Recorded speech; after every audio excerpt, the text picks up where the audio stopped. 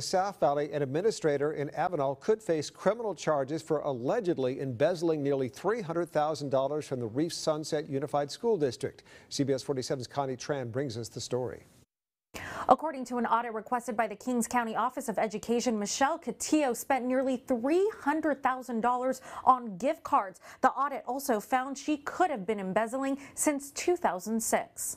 The Reef Sunset School District, based in Avenal, serves about 2,700 students. There are 300 employees, and one is now under scrutiny for allegations of embezzlement.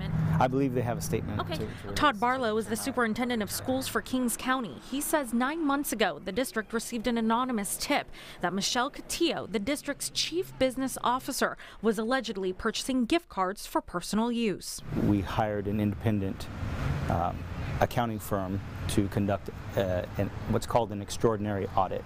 The audit was released in September and presented to the public in Thursday night's Board of Trustees meeting. The sad thing is that somebody was in a position to to take money away from programs that are supposed to be serving children and and they abused their power in order to do that. The report found Cutillo allegedly bought gift cards from Kmart, Barnes & Noble, Save Mart, and restaurants. She would allegedly invoice the gift cards as supplies for students. The audit shows Cutillo purchased nearly $290,000 worth in gift cards since 2006. Superintendent David East of Reef Sunset says Cutillo is on leave and, quote, the district remains committed to its service to the students and families in Avenal and Kettleman City.